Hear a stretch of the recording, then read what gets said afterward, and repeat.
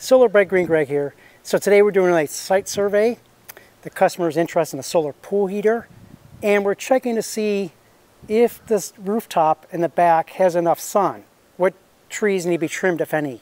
So you will notice there's a big tree over here that's overhanging the back roof and there's a tree right there. So we're going to take a look around and see what we got to work with. And you'll notice first of all it is screened. Screening takes about five degrees off the pool temperature, but notice how there's all this debris up here. That's also going to make the pool shaded and make it cooler. Um, and of course, you really don't want that stuff on top of your pool cage for other reasons. Um, could cause the screen to eventually rip. You know, critters and mosquitoes get stuck in those uh, pine needles, etc. So it's a good idea to clean that uh, pool screen. Okay, so we're up on the rooftop now. And you notice this is the first tree. See how tall that is versus the rooftop? And by the way, this back roof is an east-facing roof. This pool area is to get more shaded during the afternoon. It probably has more sun during the morning hours, but um, preferably it'd be nice just to get this tree removed. It is a pine tree, so I don't believe it's protected here in Florida, so it can be removed. That would be the desirable thing. The other thing is just even for hurricane purposes, to not have a tree this close to the house that's that tall that could fall on the rooftop and cause a lot of damage. And I've seen that happen before. So uh, that's number one. Okay, and then you'll notice here we have a chimney. You see how that's casting a shadow? So we don't want to put any solar panels below this chimney, preferably. A few uh, vents to work with that's okay. We can work on those. We can work around those. Um, let's look at that other tree. So you'll see that this tree here is also pretty tall. Um, as long as we're not using the edge of the roof, it probably doesn't need to be removed. But again, it is pretty tall. It is a pine, so it grows pretty quick. Um, preferably would be to top off this tree and trim some branches on it. And you'll see our pool down there. Normally this house mainly has an east and west, that's all we have to work with, which is fine. And normally we would prefer to use a south, a south facing roof. Second would be a west roof and then an east roof. A west roof for solar pool heating, uh, west gets the afternoon sun. So for solar pool heating, that would be best. It gets the most heat. However, this west facing roof um, it is the front of the house, but also it's very chopped up. See how those intersecting roof lines? And the solar pool heating panels are four feet wide, and then from top to bottom, they come in lengths of 12 feet, 10 feet, or 8 feet. So because of all these intersecting roof lines, I would not be able to get a bunch of rectangle panels on that roof. It would not work really well. Be better have a very simple roof like this back roof.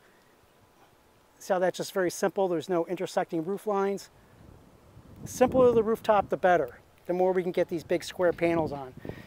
So yeah, I'm just gonna recommend the customer, uh, if possible, take out that big tree, the big pine tree, and then the other tree, this tree here, maybe just trim some branches. But otherwise, we have a bunch of room over here to put a bunch of panels. Uh, probably, I'd have to measure it up, but probably can fit roughly about 12 solar pool heating panels on this rooftop. Something like that, roughly, depending how much space we need for vents and the chimney. Uh, but this home is a good candidate for solar, even for solar PV, solar home solar. It'd be a great candidate for solar. It's just a matter of uh, being able to free up the shaded areas. And so now as you can see, the customer has taken out the tree over there.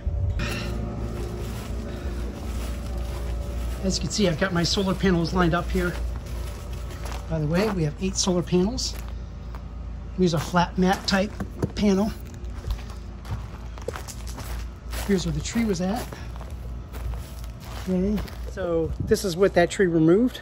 So you can tell, even though it's late in the day, it's actually six o'clock right now um, late April, but you can see we now have great sun on this rooftop and it's ready for solar. You can also tell the far tree on the other side of the house has been trimmed back. So um, this rooftop is now prime for solar. So you can remove trees to open up the rooftop. And also notice that um, the pool will have less shade on as well. I'll do another video after the solar has been installed. Okay, so here's that tree that was shading the roof before. It's been trimmed and you'll notice the solar panels are in full and complete sun, even the bottom of the solar panels. Now here's the other side of the roof, and we had that big pine tree in the back. That is gone, and again, these solar panels are in full sun, and also there's no longer any pine needles on top of the pool cage. So now this solar pool heater can heat the pool, and my customer gets about 86 degrees on a spring day, which means her and her family can enjoy their pool even more. Isn't that what it's all about? Okay, so I hope you found this helpful. Solar by Green Greg. So on this channel, we cover solar PV, also known as home solar, that generates electricity, solar pool heating to heat your pool, energy efficiency, and I give you insider information that nobody else will. And also we do a little bit of light troubleshooting, simple things that homeowner can do to help save them on a service call or answer some questions.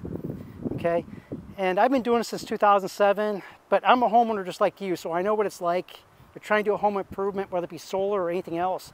And it just seems like everybody's just trying to sell you something or say what feels good rather than really tell you the truth. And sometimes the truth needs to be told, whether a house is good for solar or not good for solar, for instance. So if that's you, just looking for straight up information, then you're in the right spot. Go ahead, hit that subscribe, hit that thumbs up, and hit that notification bell so I can bring you this great information. Thank you so much and have a great sunny day. Bye-bye.